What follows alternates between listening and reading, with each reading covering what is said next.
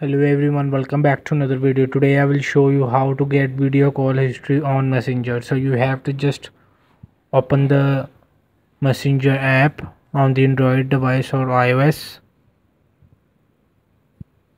So you have to open it and you can open the chat of anyone where you can calling and if they calling you so there is the chat history so you have to open it the chat and you can see the history of call.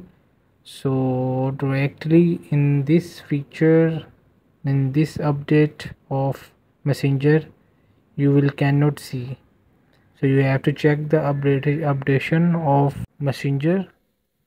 So there is no updation. So because of the 2024 latest version of messenger have not call history session in the messenger.